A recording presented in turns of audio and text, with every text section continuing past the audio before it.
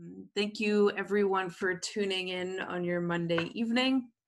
Uh, welcome to those joining us for the first time and everybody coming back.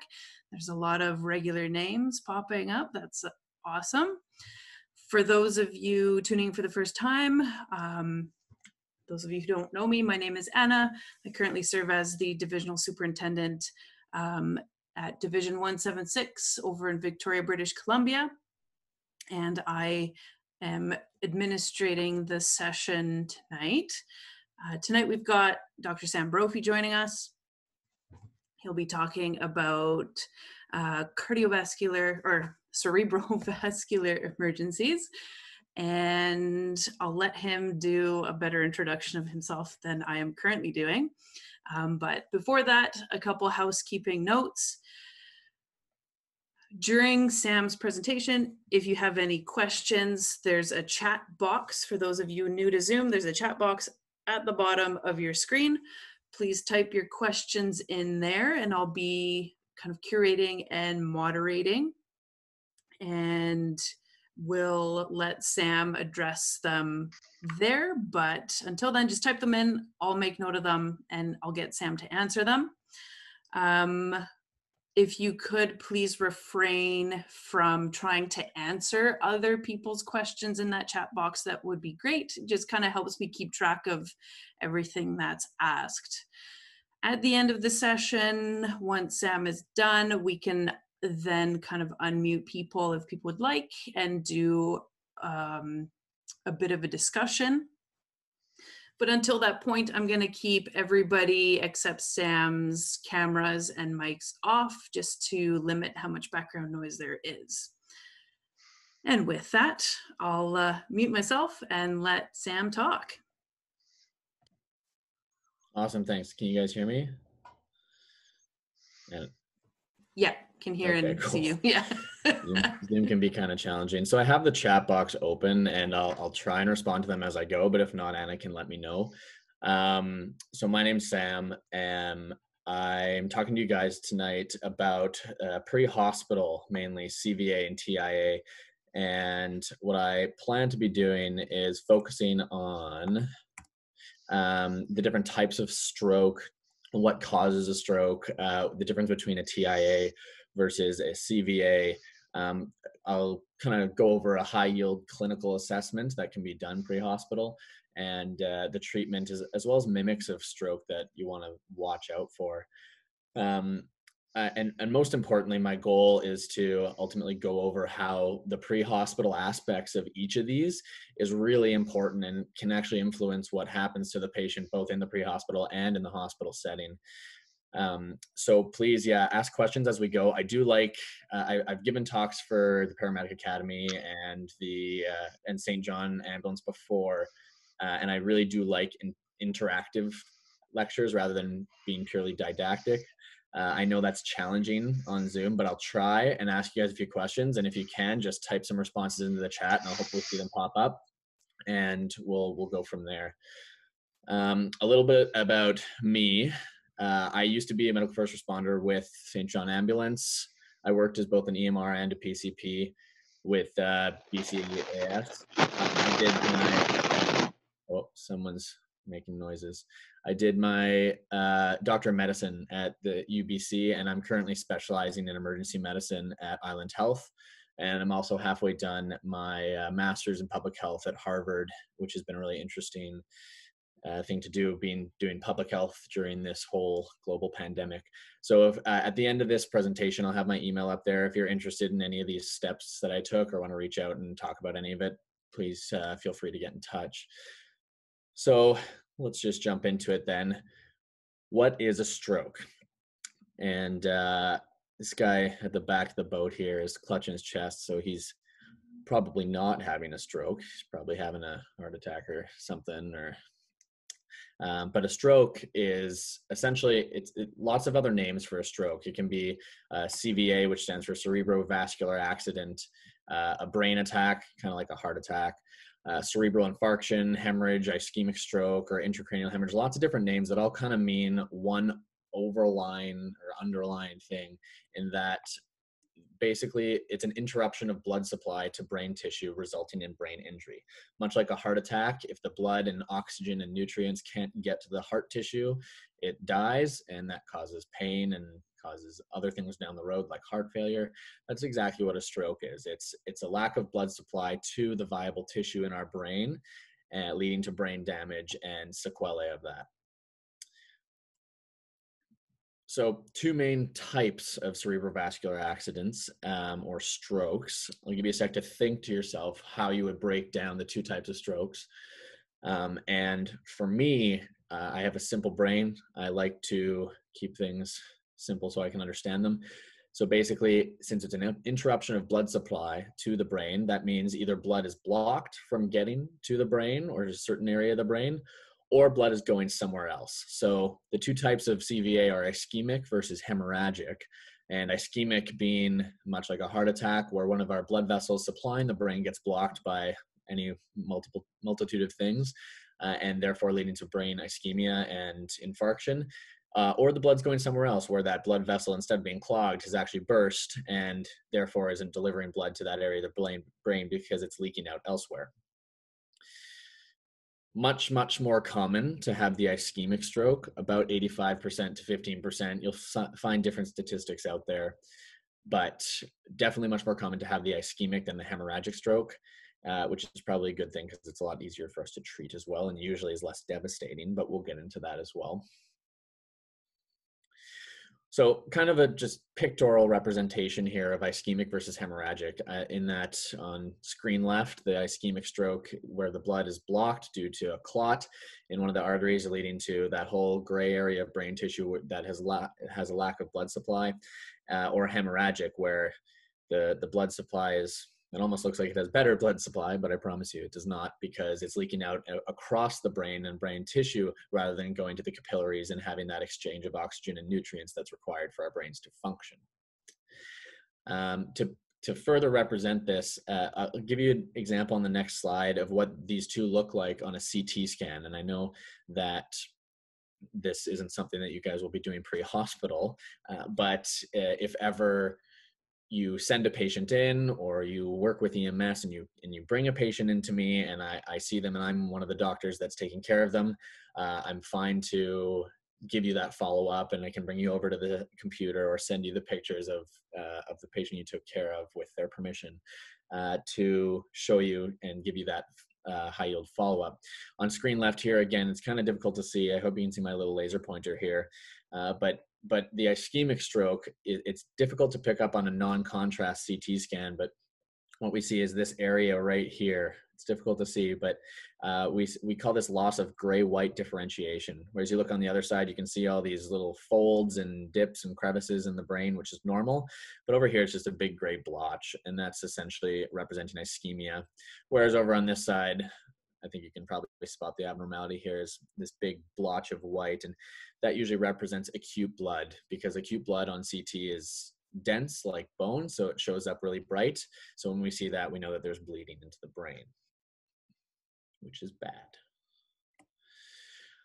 So to further break down the different types of stroke is we can actually break down the types of ischemic stroke into two main types and I'll give you a second to think about this as well. But essentially, usually it is a clot of some form and blocking that blood vessel and preventing that blood from getting to the brain tissue. And that clot, I think, again, trying to keep things simple in my mind, is the clot either developed there or it came from somewhere somewhere else in the body. So there's either a cerebral thrombosis or a cerebral embolism. And again, thrombosis is blood or a, a plaque uh, that blocks an artery supplying the brain tissue that developed right there in that artery or, or vessel. And the cerebral embolism is a blood clot that breaks off from a thrombus that developed somewhere else and ended up getting lodged into one of those vessels in our brain and then subsequently causing that ischemia.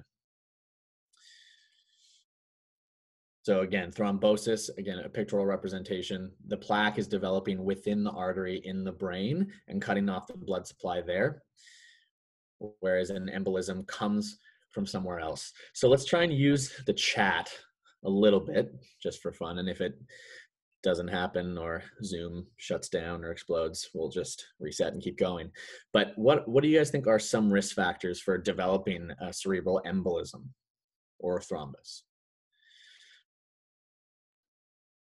Let's see a few. Nice. Hypertension. Totally one.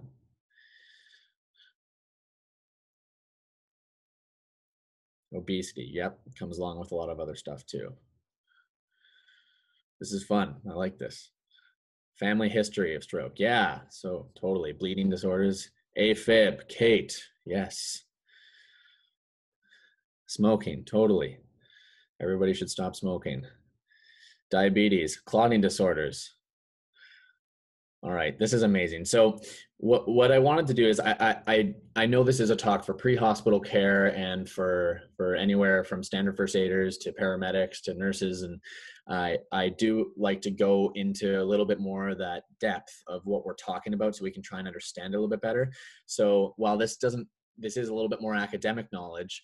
Uh, it's good to know because you guys just outlined all of these, and there's there's something called Virchow's triad, and it's the three necessary factors or not necessary, but three factors that predispose one to clot formation. And you essentially talked about them all. Yeah, drug use as well, totally. Um, so Virchow's triad, three factors. This, I don't know if somebody's writing on the screen, but that's, I don't know how, can we take that off?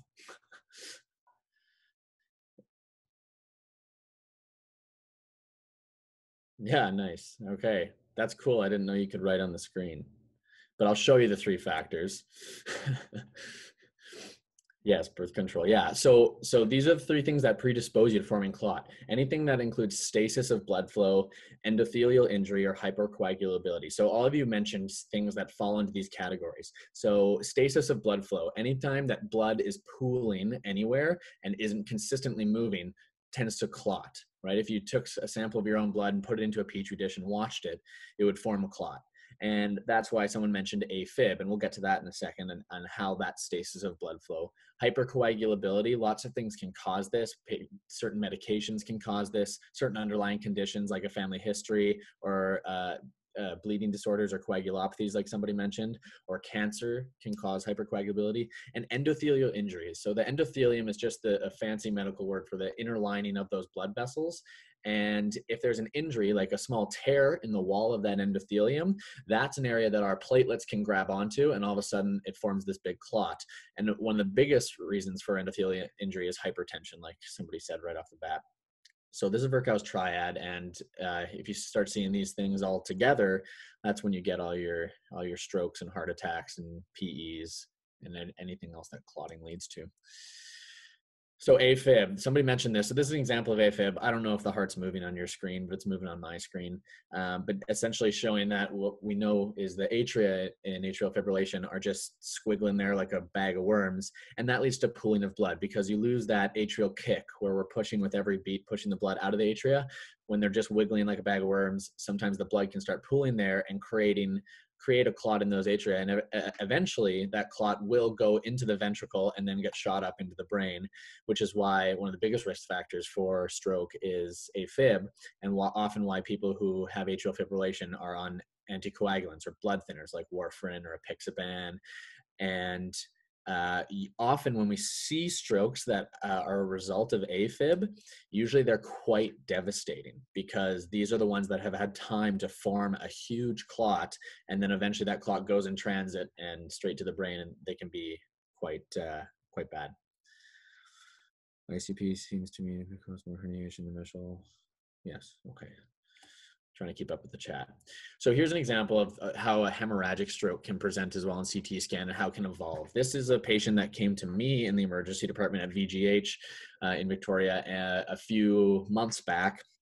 And uh, this was the initial one, and they were slightly altered uh, on the way in, and they were sent in from a field. I actually think they were sent in from a, uh, a community event and uh, initially they were complaining of headache and they were a little bit altered and confused and i ended up scanning them three hours later and they had taken a turn for the worse and had gone essentially unresponsive and we re-CT'd them and this is what it shows so just an example of how devastating and how quick these can evolve and why hemorrhagic strokes are especially scary. So let's further break down those hemorrhagic strokes as well, because we can get two types of these. And the main two are, again, different, basically where in the brain are you bleeding? So there's the subarachnoid hemorrhage and then the intracerebral or intraparenchymal hemorrhage. So big words, but subarachnoid is there's, uh, some of you may know, there's multiple layers covering the brain and the spinal cord called the meninges. The middle one is called the arachnoid and beneath the arachnoid, between the arachnoid and the, the pia mater, there's a space, and this contains our blood vessels. And often this is where people can develop aneurysms. And if you have people when you hear that thunderclap headache, where all of a sudden they're fine and then boom they have the worst headache of their life this is really concerning for a subarachnoid hemorrhage and often it's an aneurysm that's developed there over time and it's burst Intracerebral, on the other hand, is a blood vessel that's usually in the deep brain tissue, and that's what bleeds. Often that is usually due to hypertension, but can be due to many other things like trauma. Um, so this is the same picture before. Oh, I guess this was so. This was to demonstrate uh, uh, intraparenchymal versus subarachnoid. Uh, this is actually an intraparenchymal bleed. Um, so both can be quite devastating because we often think of the subarachnoid bleed as uh, very scary and, and the thunderclap headache, but both can be quite horrible. So stepping back from strokes, we'll talk about TIAs or a transient ischemic attack or a mini stroke. And the definition of this is a little bit different than when I, I was initially taught. Um, and what it is is it's defined as a transient episode of neurologic dysfunction caused by brain or spinal cord ischemia without acute infarction. Now, some of you may have been like me and they've been taught that it's usually uh, a stroke or stroke like symptoms that resolve within 24 hours. Um, but no longer does time matter? And the reason is because what we were finding is people who had TIAs and they they had all their neurologic symptoms resolved. So they came in with a facial droop and then 24 hours later they had no more facial droop. We called it a TIA, but we would MRI those people and we would still see that their brain tissue had infarcted and that there was irreversible brain damage. So we no longer call it a TIA based on time. Basically, we're calling it a TIA if no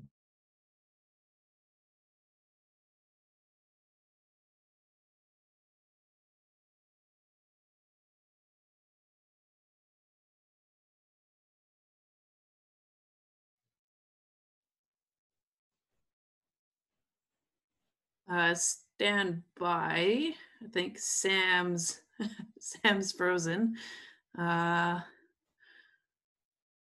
one sec.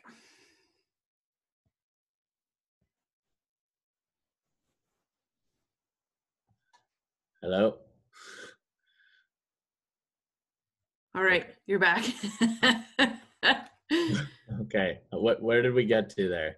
Um, you were just talking about the TIAs. Did we, did I say seconds is cells? No. Oh, all right. Let's well, we'll go back to TIA really quickly. But so essentially, with the TIA is that uh, it, it no longer matters about time. That it, it it used to be that the neurologic deficits resolved after 24 hours, uh, but we don't care about that now because those patients we would MRI, and even if they had no more deficits, we would still see brain damage that's irreversible. So it doesn't matter how long. A TIA is any neurologic dysfunction that resolves and doesn't cause irreversible brain damage. So seconds is cells, meaning uh, the longer you wait during any sort of infarction, the the longer and the, the more your brain cells die. So approximately 2 million brain cells die each minute during a stroke. I promise you that that fact is incorrect. I got it off like Wikipedia or something, but it it's just to highlight that time is very important, and the longer you wait to get them to definitive care, uh, the the worse outcome they're going to have, right?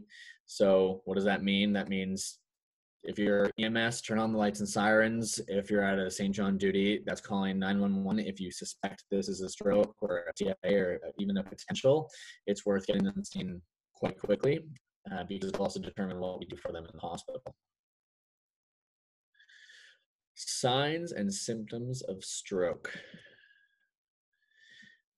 Do you guys know what fast is? Do you do the fast? Yeah, yeah, nice. Good demonstration there. Here, let me open the chat again. All right, cool. Um, so fast, and then there's also now this fast van that comes out as well. So fast van, not just a speedy vehicle. Um, it's a way of doing your regular fast, which is looking for the facial droop, the arm drift, and the slurred speech, and then the time last seen normal. And then adding in the van, looking for vision, specifically a gaze deficit, aphasia, and neglect.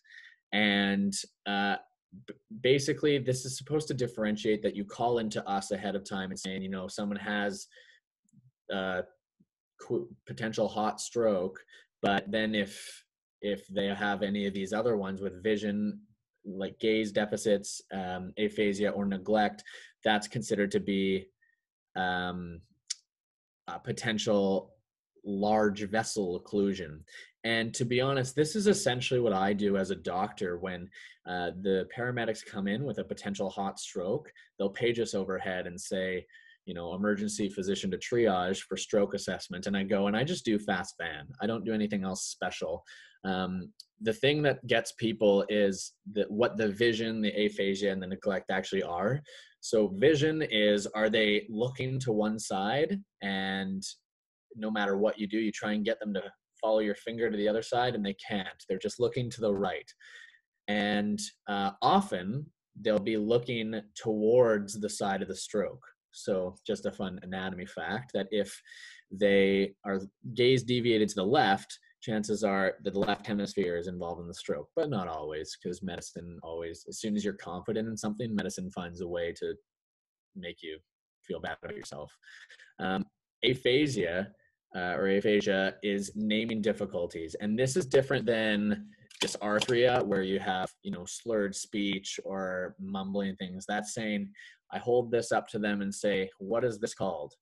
And they'll be like, oh, yeah, that's a, you know, it's a pen for those of you who you can't see. But they'll say to me, you know, oh, that's, yeah, of course, that's the thing you write. Um, no, I know it. I know it and they just can't get the word out, which is super frustrating for them because obviously they know that it's a pen, but they can't find that word to say. Neglect is also ignoring a certain side of the body. It can be left or right. And that would be specifically if they if you stand on one end of the stretcher on the right end and they're they see you and they interact with you and you wave and they wave back and you stand on the other and you wave and they won't see you or if you it, it's a very strange phenomenon. If you show them their own left hand and they're saying like who that's not my hand. I don't know what that is. It's a very strange phenomenon um, and uh, quite interesting but obviously also quite scary. So uh, if you see it, I, I, recommend you do an assessment, but I wouldn't play around too long. I'd probably call 911 as well while you're doing your assessment and playing around. So fast van, very important. And if you do this in the field and you have a good fast van, it it's the job is done. Like I'm going to do the same thing when I get there, but often the paramedics or whoever calls ahead will come in and say, you know, this is the fast van. And I'm like, ah, great. I've already decided in my mind where I'm going to uh, send the patient, which is well, well, we'll talk about that in a bit. Oh dear. Uh, so okay so this is this is uh, what i just said i just left this in the slides for your guys' benefit you can read through this if you want but we just talked about it all so common stroke symptoms uh, you know there it's vague and it can represent a lot of things it's weakness paralysis paresthesias which is a fancy word for numbness or tingling the vision changes speech changes swallowing difficulties or drooling uh, loss of memory vertigo personality changes, drowsiness. It, it, it's all the neurologic stuff, which is always very vague, unfortunately.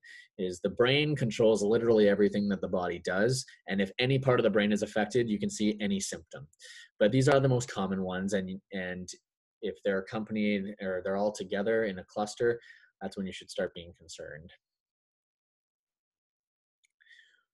So here's something you can refer for yourself. I'm going to take away almost all of this because what I really want to do is compare the main signs and symptoms of ischemia versus hemorrhage. Uh, because again, these are the two things, right? The blood is blocked or blood is going somewhere else because it's hemorrhaging into the brain. And often in ischemia, you'll get that contralateral, so opposite side of the brain that's affected, hemiparesis, which is the weakness, or hemisensory, which is numbness, tingling, or can't or loss of sensation. The contralateral, again, opposite side of the brain, visual field deficit, meaning they can't see the right half of vision in both eyes, um, or aphasia, which is uh, the, the difficulty of producing words, which sometimes I have while giving lectures. And um, it, interestingly, if you have the aphasia, it says left there, and about 95% of people who are right-handed will have their what's called it's called Broca's area, and that's uh, where we generate our speech in our brain. And if this area is affected, that's what gives us the aphasia. So 95% of people who are right-handed have this area in the left, and of those who are left-handed, it's actually still about 90%. Most people have this in the left. Uh, so often, you know, I see people who come in and they can't name things or they can't produce words. And I say, oh, you know, it's probably a left sided stroke. And, you know, people who don't know this get so impressed by me because they think I'm a superhero. But but it's just the odds are with you that this is left sided. But again, of course, as soon as you say this really confidently, it's going to end up being on the right in that 5% of the population, just so you feel really bad about yourself. Because I've done that too. Um, so with the hemorrhage, though, this is where we get that thunderclap headache, right? And and here's something we need to to suss out as well: is what exactly is a thunderclap headache? Because you know, I ask every time I ask somebody, or if a med student's working with me, and they say, you know, they saw a patient, they come and talk to me. It's like, yeah, the patient's having a thunderclap headache, and I say, okay, well, what what do you mean by thunderclap headache? With without fail, everyone's like, you know, like that's it. I'm like, okay, well, clapping your hands doesn't really describe anything to me. So I like to quantify it. And in my mind, a thunderclap headache, some people say uh, 60 seconds. I say 10 seconds. And I say it's 10 seconds from the onset of the headache to the to reaching its peak in pain. So when they say, yes, this is the worst headache of my entire life, um, but it took three hours to go from starting to my 10 out of 10 pain, it's a little that's i wouldn't qualify that as a, a, thunderclap headache whereas if they say yeah within 10 seconds it was zero to 100 like holy cow then i'd be worried about it um uh, question in the chat the headache and neck stiffness sounds close to meningitis differences in signs and symptoms yeah so so yeah so neck stiffness exactly so and that's because that subarachnoid space where we have that blood that goes all the way down through the meninges and down to the spinal cord as well. So it irritates the back of their neck. So they do often have it. I would say the differences in the signs and symptoms would definitely be this onset in that if it's a subarachnoid hemorrhage, you'd be expecting it to start within within a minute whereas meningitis is going to come on a little bit more insidiously over hours to days to weeks even and that's going to be accompanied with other things like fever chills they're going to have a high white blood cell count. Basically if, if you get the infectious picture from them and they have a high temperature you're uh, maybe a little bit more concerned about things like meningitis whereas if you know they were otherwise well and then boom all of a sudden headache neck stiffness then then that's concerning for subarachnoid. So history plays a huge role in there Hope that answered the question. Um, another thing here is it does say decreased level of consciousness and that's another big thing too is that often people with the ischemia ischemic strokes they'll be they'll have right-sided weakness or they can't talk but otherwise they're well they can look at you their vital signs are normally usually normal or within the normal limits whereas people who are having a hemorrhage into their brain are unconscious or are vomiting or look super ill so that's another way to uh, distinguish that. Would it be like pressure type feeling with the pain? I don't know. It's it's it. Pain is different for everybody. I hope I never can answer that question personally, but uh, I think any severe pain in that area, whether it's sharp or pressure or tearing or anything in severe head and, and neck and and it's acute onset, I'd, I'd be worried. So this is my simplified approach to to di- differentiating them, and it's not always true. Like I say, medicine does that great job of making you feel dumb when you think you're finally smart, and uh, so take this with a grain of salt. But ischemic strokes, you know, you get those focal findings where it's like your hand is weak or the right arm is weak or the right leg or whole right side even but then the left side's unaffected. And otherwise you're, you're okay. They're awake. They're talking to you. They tend to not have a ton of pain whereas hemorrhagic strokes often come along with a terrible headache and they're systemically unwell. You know they're vomiting they look sick they have an altered level of consciousness. Both are bad but you know we can treat one a little bit more than the other and we'll get into that in a sec. So you can kind of use this as your own personal differentiating criteria when you're assessing people in the field that uh, you think might have this. Okay how are we doing i haven't logged out yet or frozen right i'm still here okay so assessment wise, we're going to go through this the primary that you guys know and love, the ABCs, the history and physical exam, and then we'll talk about imaging. This is a CAT scan. I think I'm funny. Uh, so let's go over the history. Do you guys still use sample? Please, someone type in and say yes. Oh, thank God. Okay. So sample. Um, who who can who can be the first to type out what sample stands for? Oh, a little competition. Love the cat. Yeah, I know. It's amazing cat.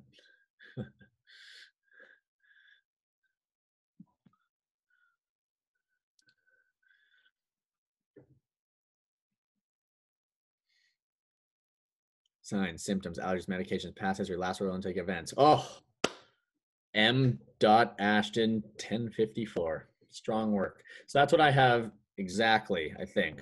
You had signs and symptoms just because you wanted to one up me, I guess, but that's okay.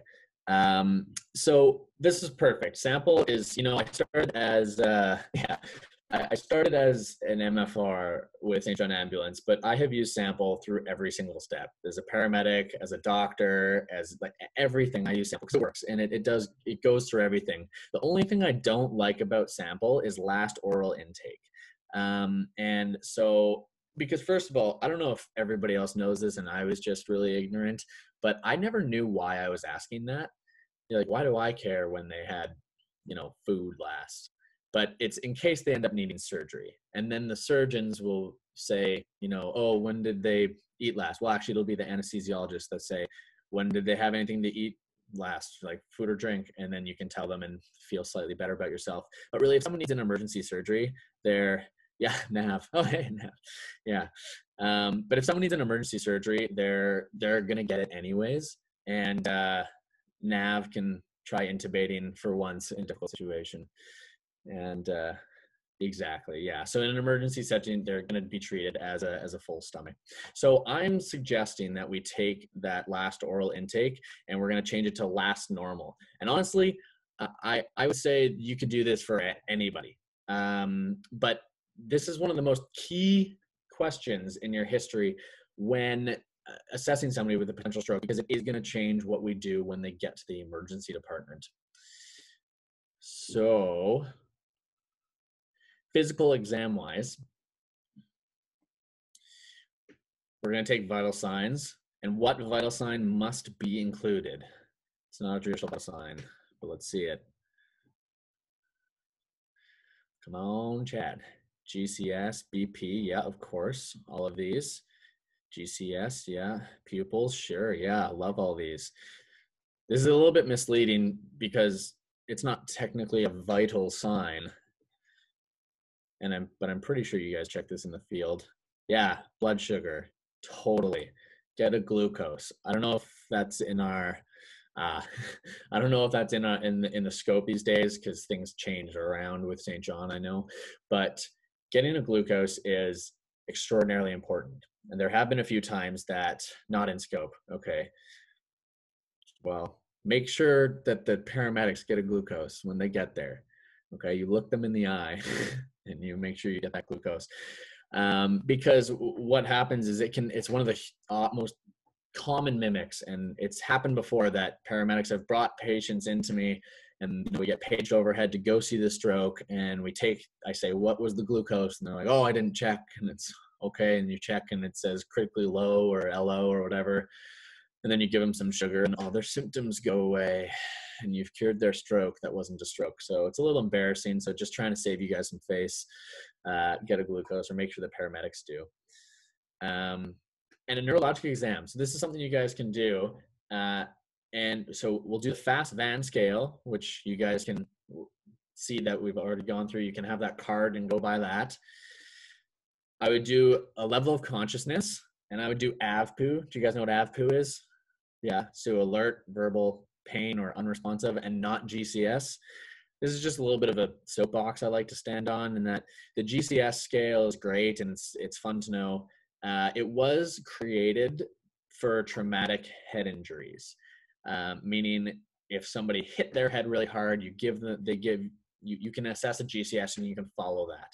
So technically speaking, you shouldn't really be using GCS unless it's a, a traumatic injury.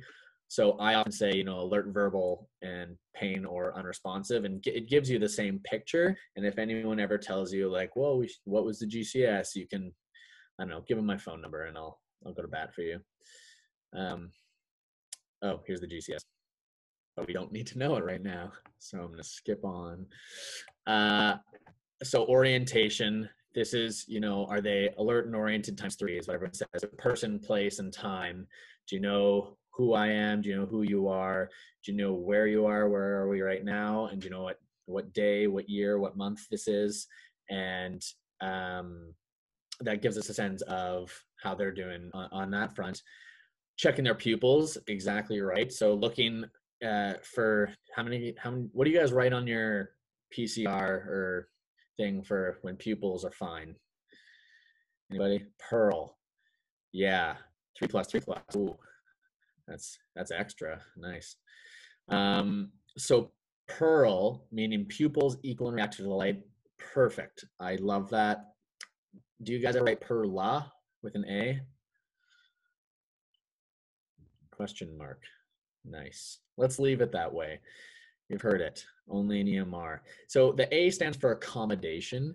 And I find that people don't really know what accommodation is and it doesn't really change anything. So some people accommodation is when you say are getting them to follow your finger or or a pen and they're following it.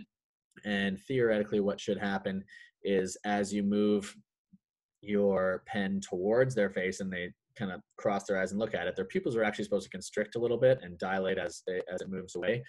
Uh, and that's accommodation, but people don't really ever check that and I, I don't think it's going to change anything we do. So I would leave it at Pearl or three plus three plus if you want to get extra fancy. Um, so pupils and then strength and sensation. And this is as simple as checking grips bilaterally, putting your fingers up and saying, you know, reach up, grab my fingers and give them a squeeze and see how they do.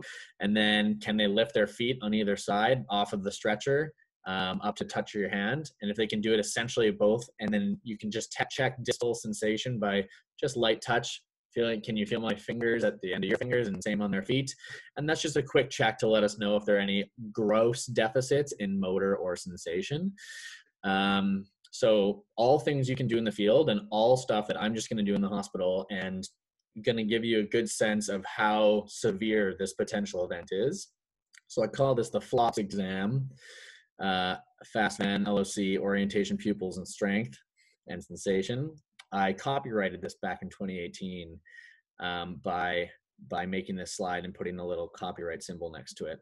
I don't have any rights to it actually, but if you want to spread it, spread it. I, I like it.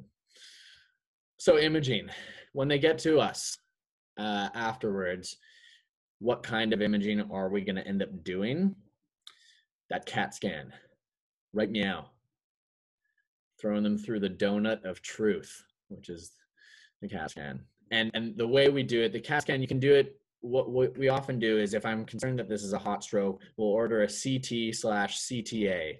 And what that means is um, computer tomography and computer tomography angiogram. So that gives us both a general look with no contrast at the head, and that looks for any big bleeds or that loss of gray white differentiation we saw in the ischemic stroke initially.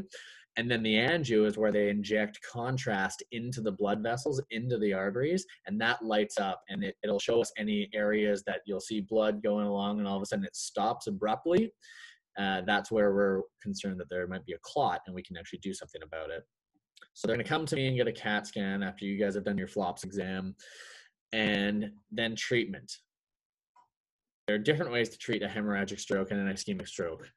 And let's talk about them. Hemorrhagic stroke, again, blood is going somewhere else. A blood vessel in the brain has burst and it is filling blood inside our cranium, all overlaying our brain these patients have a bad headache, they look unwell, they might be unconscious, they might have that thunderclap headache. Uh, what do they need?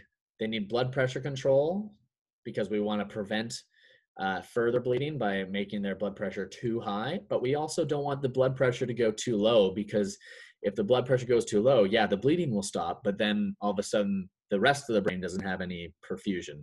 So tight blood pressure control we're going to treat them for increased ICP, which is intracranial pressure, and we have lots of ways to do that with IV medications and positioning and and and then neurosurgery, where we are going to drill a hole in their head and suck out the blood. By we, I don't mean me. Um, I had to try and do it once in the emergency room, and unfortunately, it didn't go well. But that's because I'm not a neurosurgeon.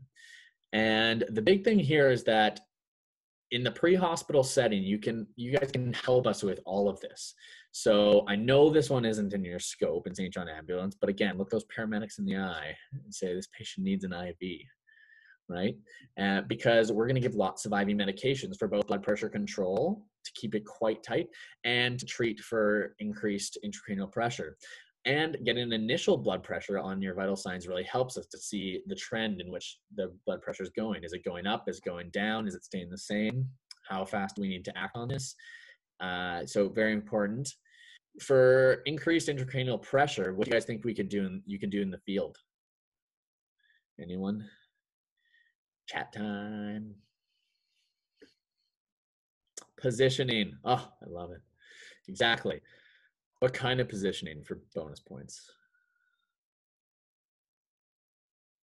Head down. Okay. I'm going to argue head up. But head down is going to come into play. And now, very good. Head up. And uh, often, what this is doing is just getting gravity on your side. So there's swelling in the brain. And as soon as we lift them up, gravity is going to try and pull some of that fluids. Flip that, reverse it. Yeah, you got it. Uh, gravity is going to help that uh, any excess fluids, blood, uh, whatever else can drain down into the body from the head, and that's going to help us uh, uh, treat the intra, uh, increased intracranial pressure. And then neurosurgery. What are you guys going to do in the field for this? No, I'm just kidding. Don't please don't attempt neurosurgery in the field. Um, or if you do, don't tell you, don't tell anyone I told you to do it. But essentially, this is where you need to go code three to a neuro hospital and write some targets on the forehead. Yeah, exactly. Burr hole here and here. Yeah, stamp them. Exactly. So it, it, basically this means they, they just need to go quick and they need to go to a hospital where they have neurosurgical intervention. So in Victoria, that's Vic, Victoria General Hospital is our neurosurgery hospital. And if you're elsewhere in the, the world or the province, find whichever is closest to you. Uh, and then for ischemic stroke, again, so this is where the blood is blocked. An artery uh, is clogged off. We're not getting blood circulating to the brain tissue. Uh, usually we have the focal findings, but otherwise they're systemically well. And maybe we do that CT angio and we see that blood vessel with the contrast, and all of a sudden, oh, the blood vessel stops abruptly. And we think that's where the clot is right there. Um, so we can do things with that clot. We can thrombolize it, which is a way of basically saying explode the clot with medication. Um, or we can do endovascular thrombectomy, which is where we go inside the blood vessel, grab that clot, and pull it out. And we'll talk about that. Um, they need to meet criteria for this. And we can increase brain, we need to increase brain perfusion. So, how can you guys help? Again, still needs an IV. Look those paramedics in the eye. tell them tell them they need to put an IV in before they get to me. Um, they need to meet criteria. So this is your history, and it's I say paramedic history, but anyone anyone pre-hospital history. Um, you know, when did it start? How long has this been going on for? This is actually going to change who meets criteria for both thrombolysis or for endovascular thrombectomy. So that last seen normal in sample now, which is no longer last oral intake, because NAV is going to intubate no matter what, um, is is really important. And then for the brain perfusion, what could we do? Increasing brain perfusion. So instead of decreasing the amount of blood going to the brain, we want to increase the amount of blood going to the brain. Anyone? Flip that, reverse it. All right, it's yeah, exactly. Yeah, supine, head of the bed down. Um, so these are different ways that you can intervene in the pre-hospital setting and help us it is difficult. Like we know, there it's really hard to distinguish whether a stroke is ischemic or hemorrhagic and trying to you know, that we can if they perfectly meet one criteria and you are so convinced that it is ischemic stroke and they don't they have a protected airway that it doesn't matter if they're lying down maybe putting the head of the bed down is going to be helpful. If they had that thunderclap headache and they're vomiting and now they're unconscious and you're waiting maybe and you don't need to be intervening on their airway as well again the abcs always come first but putting the head of the bed up might help. So different ways to think uh, that you can intervene but uh, no slam dunk way of uh, of diagnosing whether it's ischemic or hemorrhagic in the field. So thrombolysis uh, this is when we give something called alteplase or TPA, which is tissue plasminogen activator. This is an example of what happens inside an artery. So this this big guy, this whole thing's an artery. This big guy here is a clot, and we have this little guy named plasmin, who's the Pac-Man, and he eats clot and, and degrades it. And plasminogen is the Pac-Man when he's inactivated. I like to think he's just sleeping. And TPA is that plasminogen activator. So it activates plasminogen into plasmin, which then breaks down the clot. So you wake up the Pac-Man, Pac-Man the clot, clot goes away, and hey, blood is restored to the brain. Will will O2 be helpful? Yes, potentially. So giving oxygen, uh, I, I would recommend um, uh, titrating it actually. Do you guys do uh, SpO2 monitoring in the field? Anyone? Okay, I don't not not in on. Okay. No SpO2. Okay. So, you know what? Yeah, okay. If you have SpO2, you can titrate it. If they're above 94%, um, it's probably fine to to leave them off it or put a nasal cannula in. If you're not, I would say go ahead and give oxygen because because you, are right. They do need extra oxygen going to that area of the brain uh, that has decreased perfusion. So giving a bit of extra oxygen can help. Um, perfect. There there is some evidence coming out now how hyperoxia or too much oxygen can actually cause damage because you start generating free oxygen radicals. Uh, but that's for a different talk. But yeah, when in doubt, if you don't have the ability and, and they're looking quite altered, uh, you can give oxygen. Uh, so then the endovascular thrombectomy, this is a kind of a new surgical technique where they actually thread a wire into the artery, go through that clot and open up a cage that grabs the clot and then pulls it out. Oh, I thought this was a video. It's not, it's a picture, but you get the, you get the idea. Um, and again, they have to meet certain criteria, and this is ours at Island Health for EVT. Um, we're going to go through each one of the, no, I'm just kidding. You can look back on this if you want but uh, there's a lot of criteria, including timing um, and and information that you can get on your history in the field. So what about ASA? ASA is in, right? You guys give ASA in the field or no? That was another thing flopped back and forth sometimes. Back when I was in. Yes, sometimes. Yeah, exactly. Nice. Yeah. Not for stroke. Oh, hey, all right, answer my question. So I agree, yeah, and, I think it would be bad for stroke if somebody has an ischemic stroke and gets um, gets diagnosed with it on a CT angio. We ultimately put them on antiplatelet therapy, and it's usually dual antiplatelet with aspirin as well as something else like Plavix or Ticagrelor. Basically, we want to prevent those platelets from uh, aggregating together and creating another clot. But exactly right, it shouldn't be involved in um, a pre-hospital protocol because we aren't able to differentiate that. And as you can probably imagine, if we give somebody who's having a hemorrhagic stroke aspirin, uh, and then we prevent any sort of potential clotting of their platelets, uh, we pretty much accelerate the bleeding and ensure their demise. So, uh, yeah, not good. Agreed. So, aspirin is something that I, it feels like you want to give it, but hold off until we know exactly what's going on. And it, even if it is an ischemic stroke, it's not the same as a heart attack where it can make that time uh, that time sensitive difference. It probably won't wouldn't change the outcome as much. So some nomenclature and some terms: hot stroke, golden hour. You guys have probably heard these terms thrown around. So let's try and actually talk about what these mean because for the longest time ever i also you know i get paged overhead to go see a hot stroke and i you know i thought it was someone who who had a stroke and had a fever and i was like oh time to go see the hot stroke and uh uh, the golden hour. So it's what these actually mean. So this is this is our clinical order set at Island Health, and it's our hot stroke order set. And essentially, it's blow up this one part here, and it talks about uh, is defined as the time of onset allowing for us to give TPA at within 4.5 hours of onset. And if you look in the literature, do research, or go through different protocols, you're going to find different times. This is ours at Island Health. Some say up to six hours, some say three hours.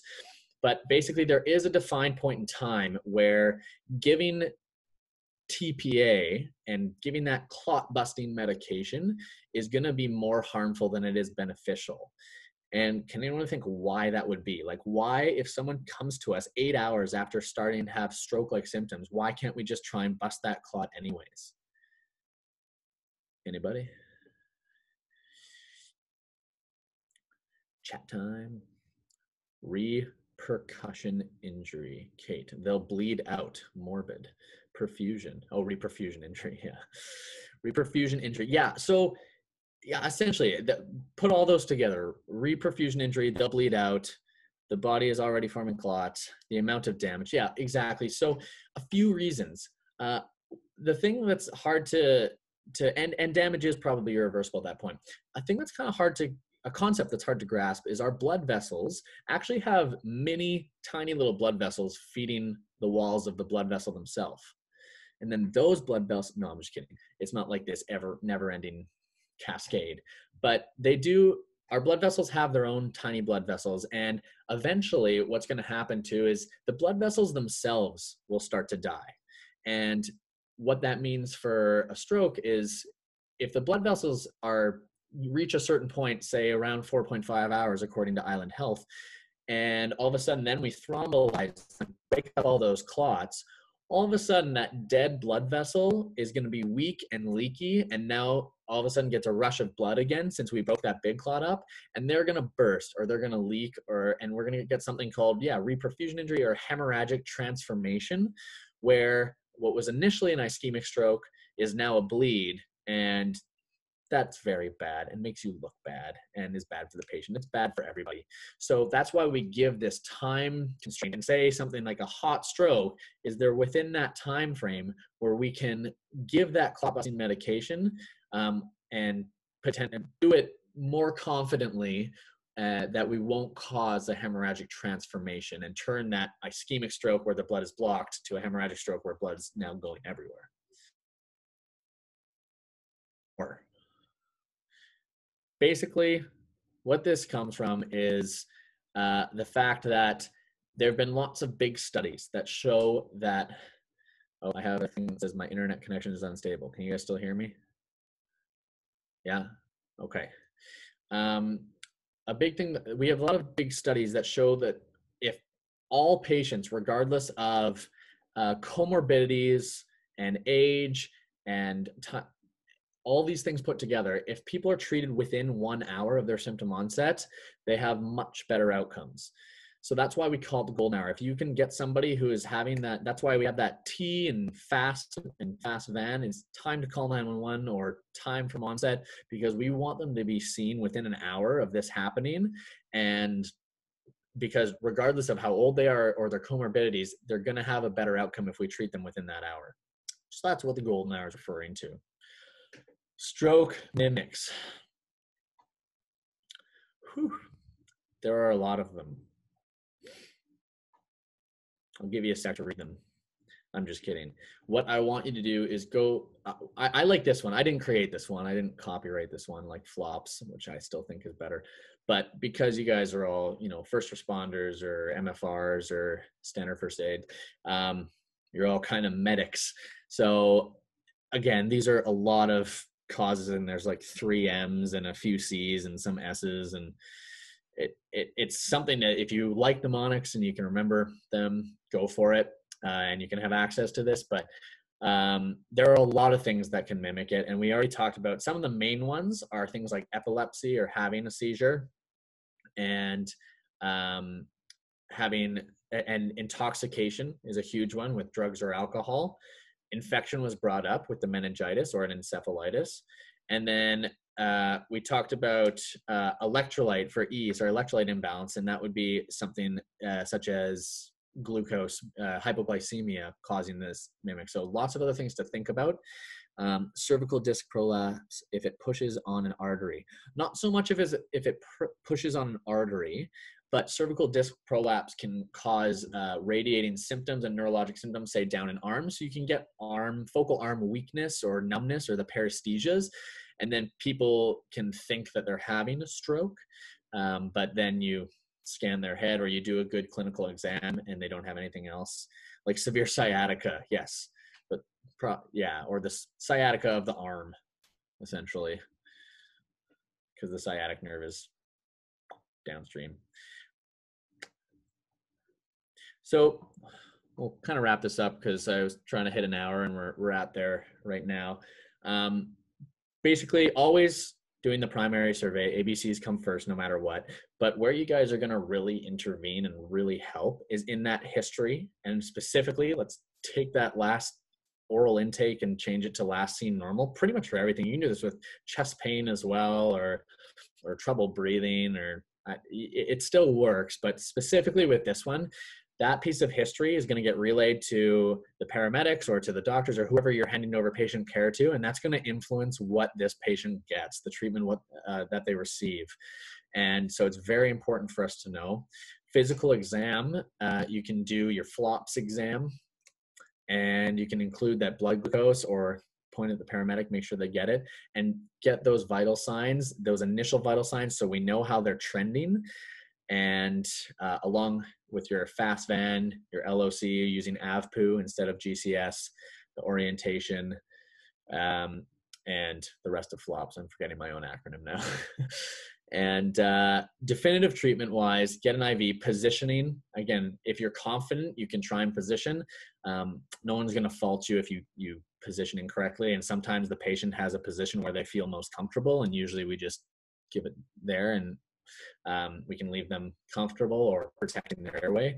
And then code three, what was flops again? Yeah, yeah, fair enough. Um, we'll go back to that in a sec. Um, and uh, code three, getting getting sent to a neural hospital that can uh, deal with this appropriately. Let me go back to flops. I know it's so good, right? Flops. There we go. Fast van, do that fast van. The AVPU, Thank you, Gareth.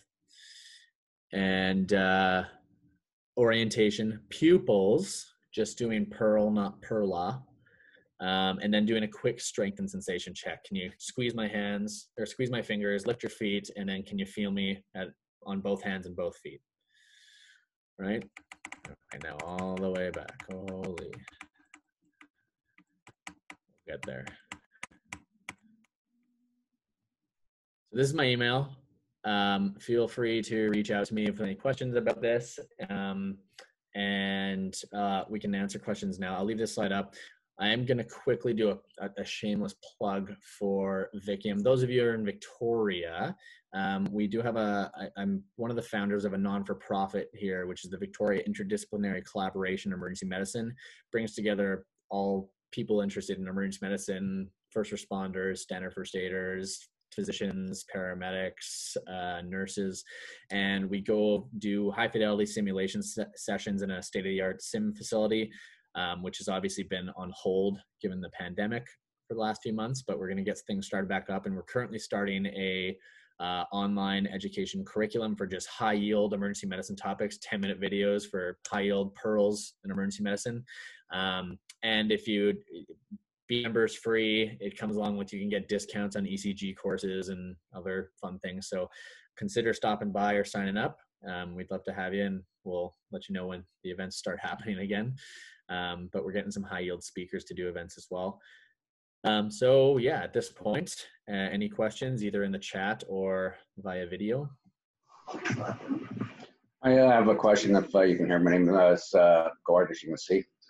Uh, would a person with uh, thalassemia minor have a higher chance of uh, stroke or not? That's a great question. Thalassemia minor, different, and that you're pushing me back to med school. Mediterranean. Mediterranean, yeah. Um, thalassemia minor is which is i think is different than thalassemia trait or the same do you remember that well thalas- uh, full thalassemia trait uh, the longest ever lived uh, is uh, uh what 29 uh, the minor is basically you have just one of the characters so you're the carrier i think thalassemia trait is when you don't exhibit symptoms but you have it and thalassemia major is the one that you have yes i'm going to go ahead and say yes really confidently that there's a higher risk for something but I I am making that up. I'm not going to lie to you. Okay, because it's a hemoglobin. The, uh, it's a hemoglobin problem. That much I do know about it, so I didn't know if that made a difference. Totally. No, I know, I know what thalassemia is. I just don't know if it comes along with an increased risk for it. Um, yeah, I know there are other physicians on here. Nav, do you know? Anyone else? Now, the reason why I ask is I'm from the Mediterranean. I I have minor actually, so it's. Oh, there you go then never mind. No increased risk. You're fine. there you go. there. Nav says small risk depends on alpha versus beta thalassemia. Yeah. So thalassemia minor. Um, as a first aid emergency measure to lower BP, would massaging the carotid sinus uh, slash vagus nerve be effective or useful? More for minor versus straight. So, um, would the massaging the carotid sinus? Uh, I would say no. Um, and the reason I would say no is it actually might be effective in that. So what they're talking about is carotid massage, where you massage the carotid bulbs here on either side, and what you can do is uh, get a reflex where your body kind of lowers the blood pressure because it's sensing here. These are kind of blood pressure sensors in our carotids, and it by by rubbing it, it's giving the brain. You're kind of tricking your body into saying that you have high blood pressure because you're pushing on it, and then the body responds and and kind of vasodilates and lowers that blood pressure. But that can do a lot of yeah. So Kate's right. It, it could cause syncope. It can cause them to lose consciousness. The other thing it can do is um, we don't always know where these strokes are coming from. And if the stroke came from a, a, plaque that was built up in the carotid artery, if you massage that plaque, you could break off more of it. So often uh, we use carotid massage for trying to do a vagal maneuver for people with arrhythmias. But if you're going to attempt it at all, especially in somebody who's a bit older, uh, they say that you want to listen actually with your stethoscope over the carotid arteries to see if you hear a bruit, which is turbulent blood flow. Because if that's there, you definitely don't want to be massaging it, potentially breaking off a plaque um, and causing a, a, worse stroke. So I would say that, like ASA, it might actually accomplish what you're looking for in that it probably would lower the blood pressure, but it could also make things a lot worse. So I would definitely stay away from it in the pre-hospital setting. If that makes sense. What can you do when you encounter stroke symptoms, but you have a long wait until EMS arrives? Any treatment that would help? you know th- this this kind of comes down to what we were talking about before in that if you have that slam dunk presentation where perhaps this is an ischemic stroke and you're certain of that because they have focal findings they have the arm drift and they're um, they're otherwise well, um, you might consider laying them down. You can check a glucose, make sure that if, if or have someone that ha- can check a glucose.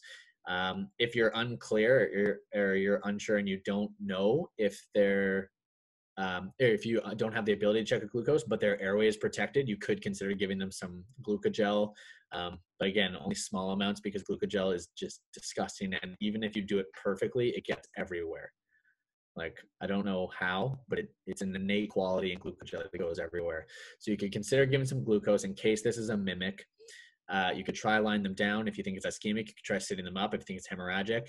Um, and again, monitor those ABCs. If they're starting to become so decreased that they can't protect their airway, you're going to need to put them in uh, probably the semi-recumbent position on their side so they can protect their airway.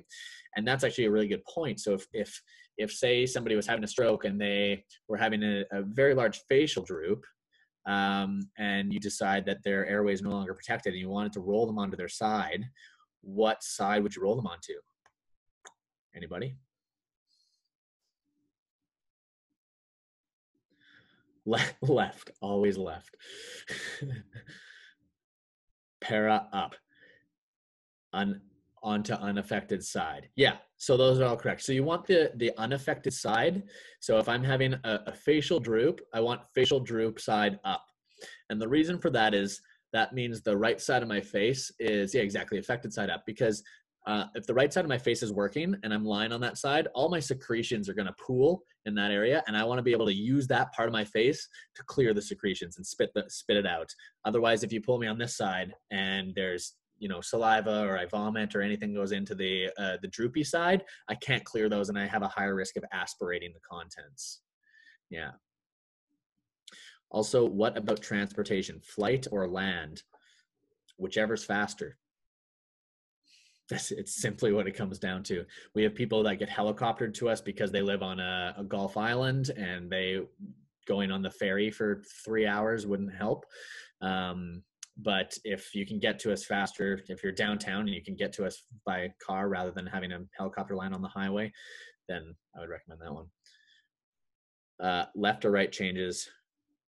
Oh, oh, oh, I get the question now left or right changes from land to air transport packaging um, oh yeah so th- that's actually I, I, don't know how the current flight uh, ambulances are set up but essentially I, I do think it you know it, it's going to be a risk benefit discussion with yourself in that if you need to package them on their side um, if if the, if you have to put them on the affected side down, but that also means they're facing you and you can more easily assess their airway and suction them out, that might be more appropriate. Whereas if you think there's no way you can, like they're they're constantly vomiting and you need them to be able to cre- clear their own secretions, they're able to do it. It might be worth turning them away from you and making a little bit more of an awkward trip for you. Uh, but if they're able to clear their own secretions more effectively, because being able to spit out vomit is much more effective than us going in with this little Yankauer suction tube and trying to get all the chunks right so it, it's going to be that risk benefit discussion that that you have to have with yourself in, in the context um, the high level of care can repackage for transport. Confirmed they can. Nice. Oh oh hold on i missed one. Is there oh God, scrolling. Oh no. Is there a way to differentiate between a stroke and a TIA? And is treatment with TPA indicated for both due to time limitations for the treatment window? So, is there a way to differentiate? No, other than the symptoms will go away. And uh, so, but in the acute phase, certainly, certainly not. If you have somebody who has that, that arm or the facial droop and the arm drift and the slurred speech, and then by the time they get to the hospital, it's all gone um, I'd say that's more likely a TIA because everything is resolved pretty quickly. But otherwise, it's the same symptoms because it's the same area of the brain is getting lack of blood supply. The only difference is permanent damage hasn't happened yet. Um, is treatment with TPA indicated for both? You know, if uh, it's it's hard to say. T- TPA is something that we're going to do if we if we find that clot, if we get that CT angio and we see a clot, if that's a clot that was going to resolve on its own, um, we might never know that. But if we find a clot and it's within that hour and they're still having those deficits, we're not willing to say, ah, this is probably a TPA and just, or sorry, a TIA and uh, just let let them be and hope they recover. We're gonna give that thrombolysis. Most helicopters use now. The patient can go supine. All right. Uh, I was meaning regarding the pressure in the brain for flight up to flight crew. Yeah. Yeah. Okay. So, uh, meaning like uh, the cabin in the flight ambulances are pressurized up to 5,000 feet. Any, are there any flight paramedics here? I don't know. 2,000. Okay. So maybe tell them, look them in the eye and tell them to fly at 2,000 feet. And yeah, I don't know. that that's specialized training that I don't have I'm not a flight guy.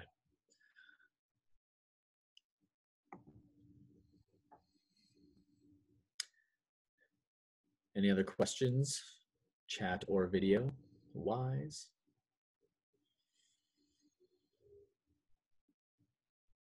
Anna, did I miss any questions? No, I, I don't think you did. I think you hit all of them that I saw at least. All right. All right. Thank you for, oh, you're welcome. Um, yeah, so I think that's pretty much it. That's kind of my, oh, am I frozen? No. you are now. Oh, good. I'm back. Okay. You're back. Yeah.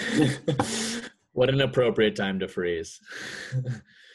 Um, yeah. So please feel free to reach out for me or to me if you have any questions about any of this, the, anything you saw in the talk. Um, I answer emails sometimes. Um, takes me a little bit longer sometimes, but uh, I'll, I'll, try and get to all of them. But oh, very good. Thanks, Kamloops.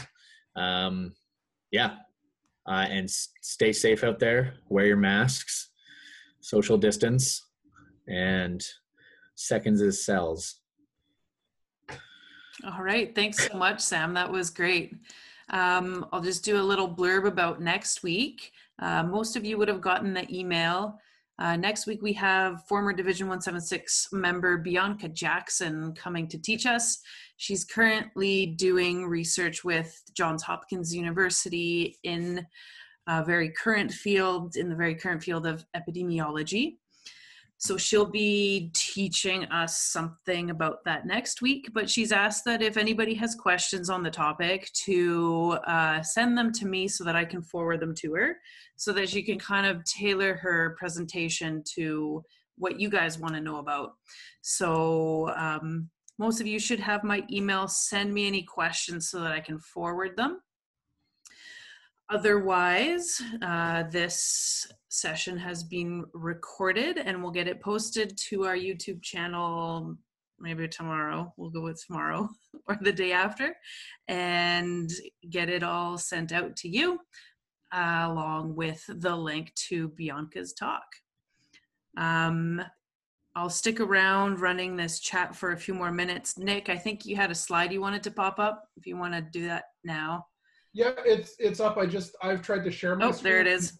You to accept it, and uh, that'll have uh, Anna's email and uh, a little plug for our own social media stuff as well. Yeah. So my email was down at the bottom. Uh, email me any questions for Bianca there. Otherwise, stay tuned for the invite for next week. Um, yeah, that's about it from me.